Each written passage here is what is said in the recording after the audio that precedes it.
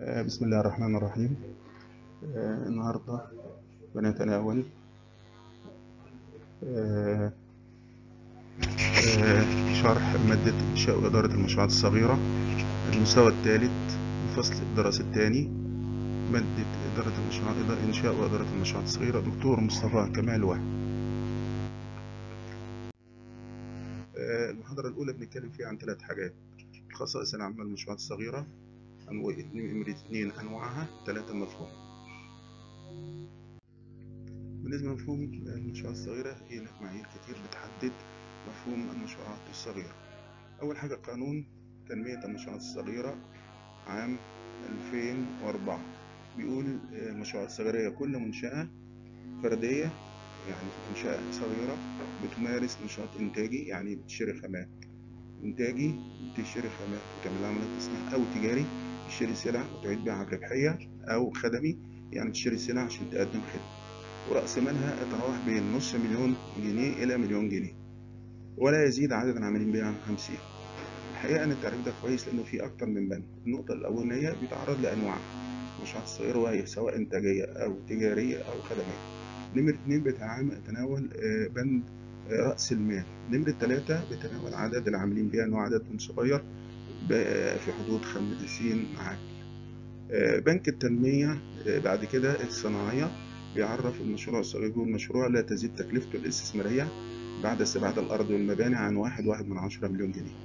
برضو تعريف كويس بس بيتناول عنصر واحد وهو التكلفة أو رأس المال.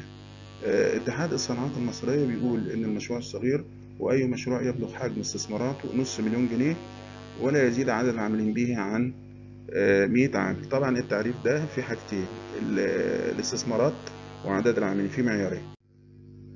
وزارة الصناعة بتعرف المشروع الصغير بتقول هو منشأة قيمة أصولها أقل من نص مليون جنيه وبيعمل بها ما بين 10 إلى 100 عامل.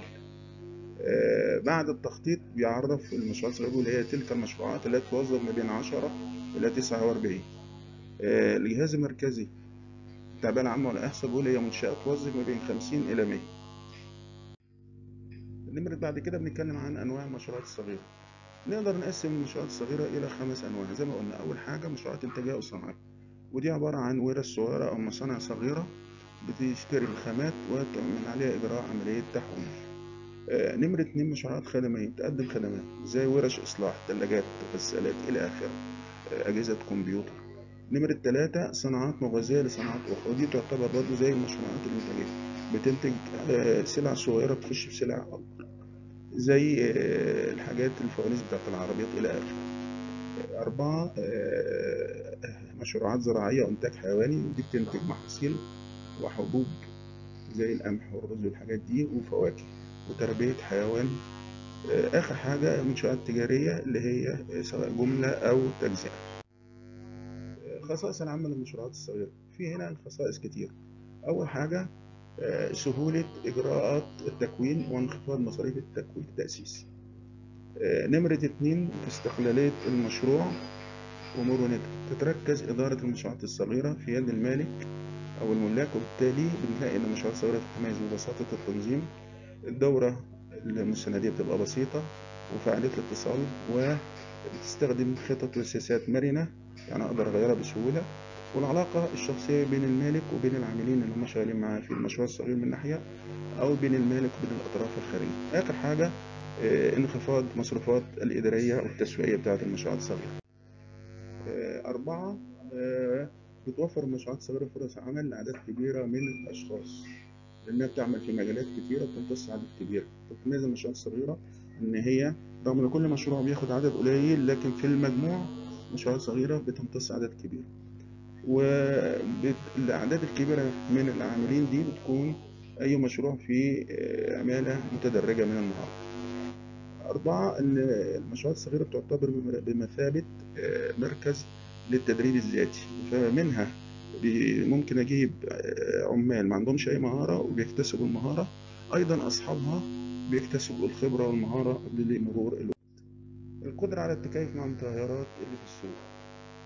تقدر المشروعات الصغيرة تقدر المشروعات الصغيرة تتكيف مع المتغيرات زي تغيير القوى العاملة أو سياسات المشروع.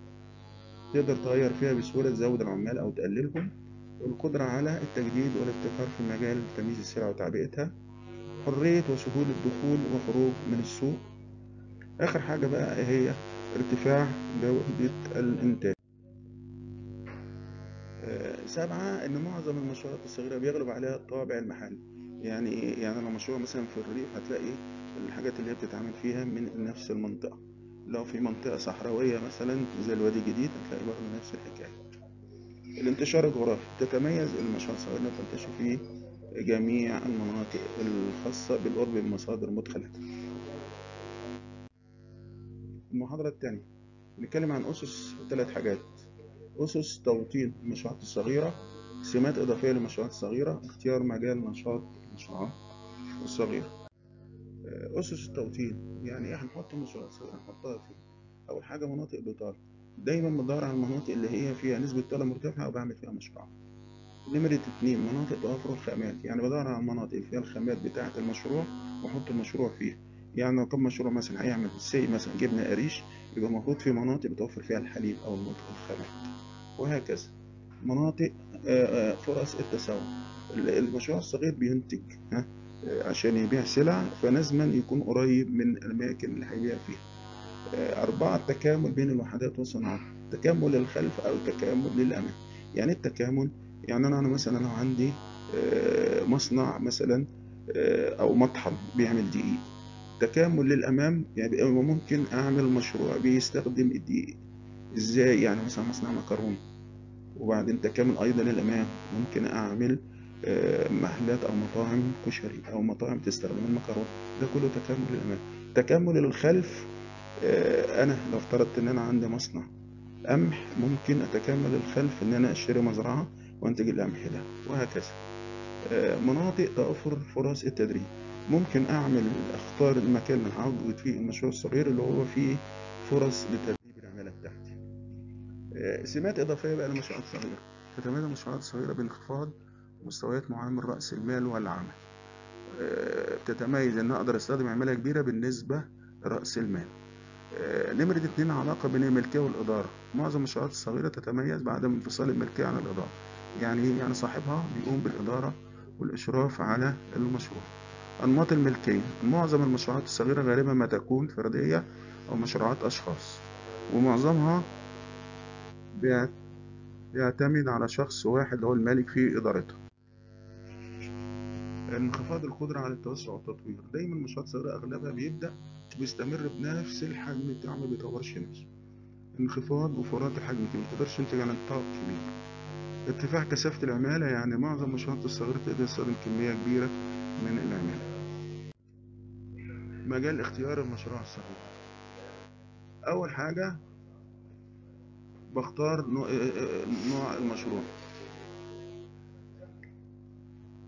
نوع المشروع الصغير. فبختار إما مشروعات صناعية أو تجارة مشروع يقدم خدمات أو استيراد أو تصدير أو مقاولات.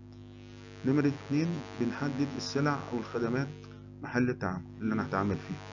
نمرة تلاتة بحدد مستوى جودة السلع دي بعض المشروعات بتتخصص في سلع ذات جودة عالية أو جودة متوسطة أو منخفضة بحدد أيضا السوق اللي أنا هتعامل معاه بحدد مصادر التوريد بحدد آخر حاجة المدى الجغرافي لنشاط المنشأة المحاضرة الثالثة متطلبات التوسع في المشروعات الصغيرة. عشان أتوسع في المشروعات الصغيرة في متطلبات معينة. وبنتكلم عن مفاتيح النجاح في المشروعات الصغيرة وأسباب فشل المشروعات الصغيرة. متطلبات التوسع في المشروعات الصغيرة نمرة واحد علاج مشكلة التمويل. معظم مشكلات المشروعات الصغيرة بتعاني من مشكلة التمويل وبالتالي لابد إن إحنا نوفر وننشئ مؤسسات للتمويل تقدم القروض بفايدة طبعا محدودة. علاج مشكلة التسويق. نمرة اتنين عشان أتوسع في المشروعات الصغيرة لابد نعالج مشكلة التسويق. إزاي؟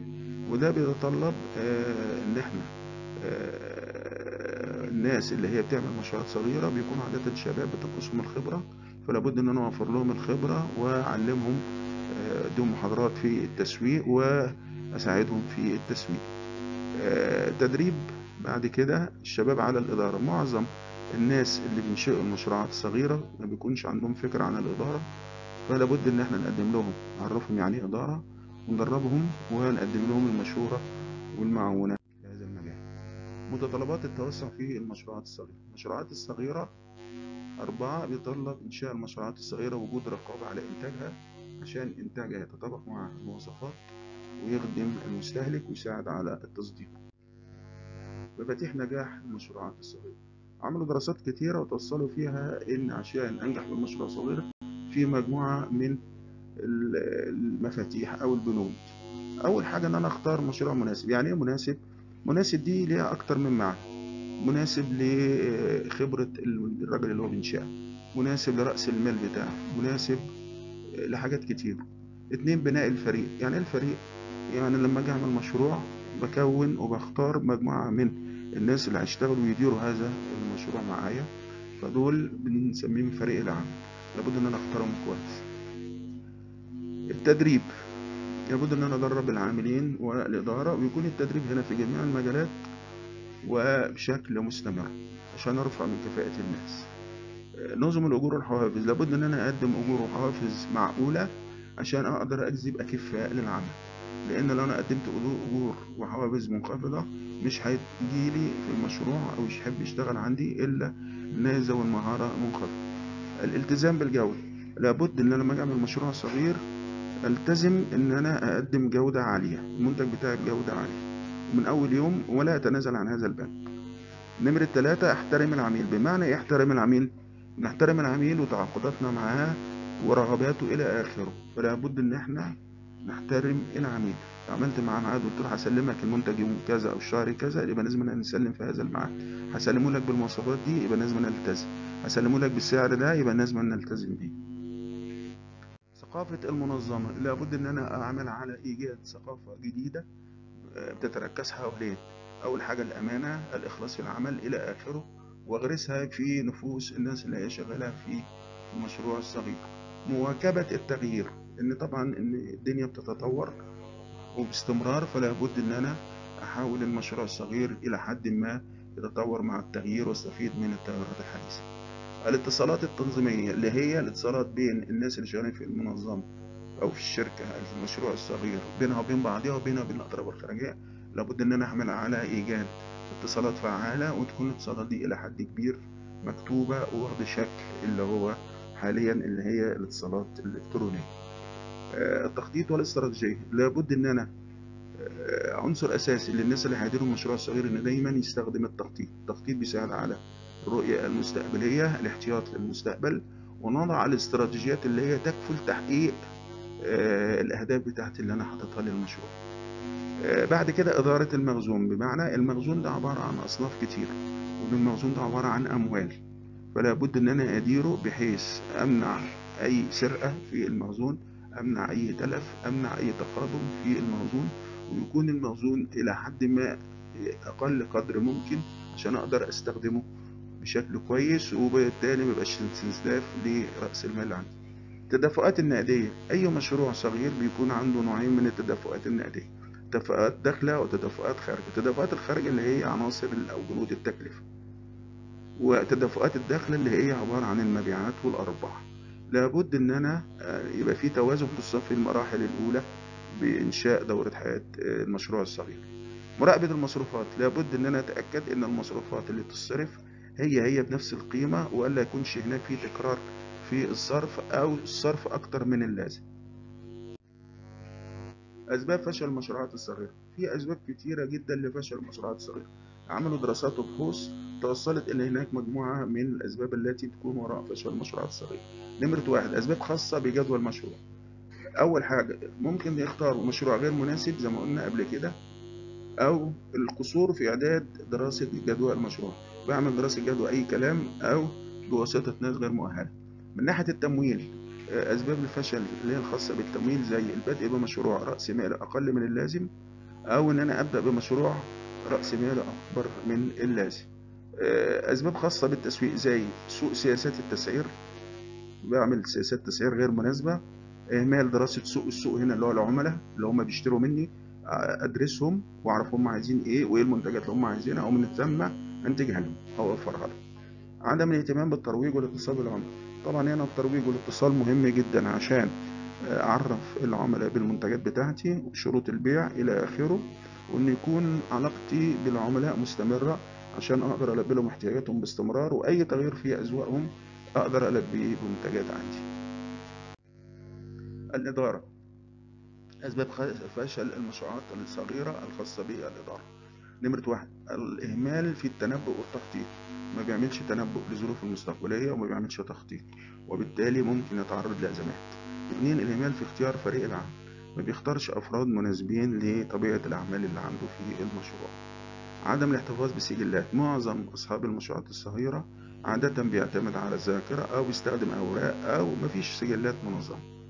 فلا بد يعالج النقطة دي إن يبقى عندي فيه سجلات تكون منظمة عشان تتيح لي تتبع العمل والأداء بتاع المشروع. عدم العناية بتنظيم المشروع ومراجعة هذا التنظيم. آه، تعيين الأقارب دون مراعاة الصلاحية. أغلبهم بيعيد قرايبه ولاده وإخواته آه، قرايبه من أي ناحية.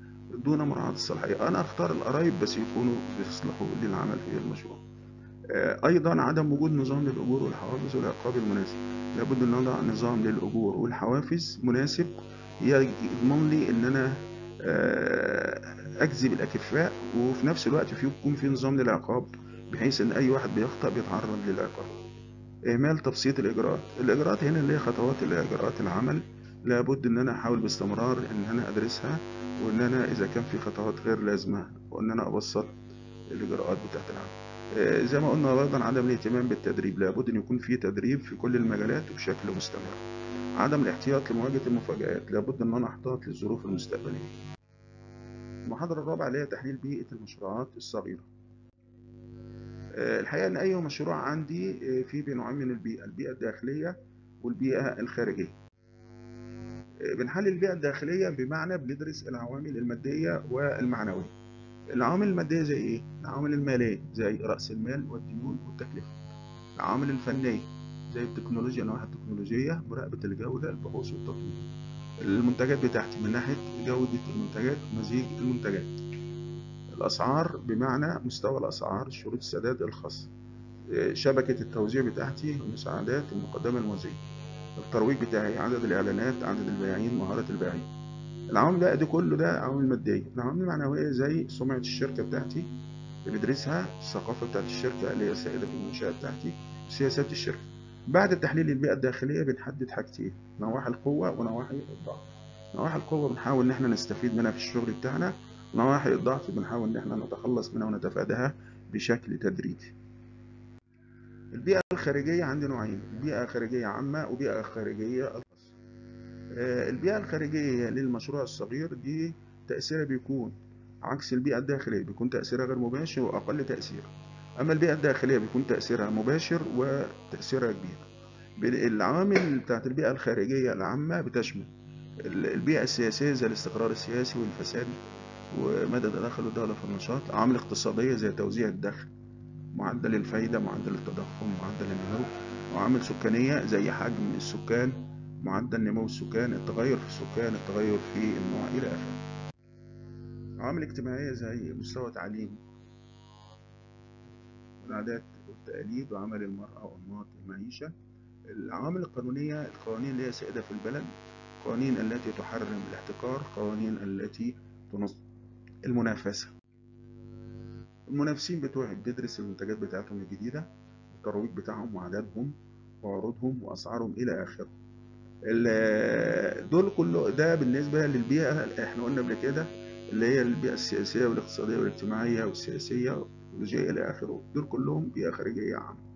البيئة الخارجية الخاصة اللي هي بتشمل المنافسين المستهلكين والموردين. إحنا قلنا شرحنا المنافسين. المستهلكين اعرف عددهم أسلوبهم في الشراء واتجاهاتهم إلى آخره. الموردين وفرة الخامات عندهم شروط توردهم أسعارهم الجودة بتاعتهم. بعد تحليل البيئة الخارجية الخاصة والعامة بيتم تحديد حاجتين الفرص اللي هي النواحي الإيجابية اللي في السوق والتي يجب أن نستفيد منها في زيادة الإنتاج والمبيعات. وبعدين بنحدد حاجة تانية اللي هي التهديدات أو التحديات أو القيود أو المخاطر البيئية ودي النواحي السلبية أو اللي بتحد من قدرتي. على العمل ودي لابد إن أنا أحددها وأحاول إن أنا أتكيف معها. آخر محاضرة عندنا اللي هي دراسة الجدوى للمشروعات الصغيرة.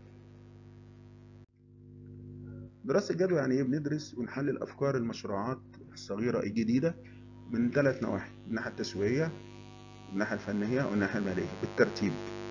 ليه؟ عشان نحدد هل الفكرة دي تصلح إن أنا أعمل مشروع ولا وتنجح ولا لأ. أول حاجة الدراسة التسويقية. بندرس الفكرة هل المشروع صالح من الناحية التسويقية؟ ودي بنحدد فيها بنقوم فيها دي بتبقى نمرة واحد. يعني الدراسة التسويقية الجدوى التسويقية دي بتبقى نمرة واحد. بنحدد السوق بتاعي أو العملاء اللي هيشتروا مني المنتجات بتاعتي. سواء كانوا مستهلكين وخصائصهم إلى آخره. بنحدد المنتجات التي عايزين يشتروها. والسعر اللي هم يقبلوه لهذه المنتجات. وبنحدد الطلب على المنتجات بتاعتي. ونتأكد من أن الطلب أكبر من العرض. طب لو كان العرض أكبر من الطلب يبقى الحالة دي لا ينصح بإنشاء المشروع. ليه؟ لأن الإنتاج المتوفر في السوق المعروض أكبر من الطلب. وبنحدد أيضا طريقة التوزيع اللي العميل عايزها. في نهاية المرحلة دي إذا كان المشروع ناجح من الناحية التسويقية بيبدأ نخش عليه على الدراسة الفنية. وفي بيهم بيتم تحديد هل المشروع صالح من الناحية الفنية إزاي؟ يعني بيشوف عوامل الإنتاج ومدى توافرها بتاعة المشروع.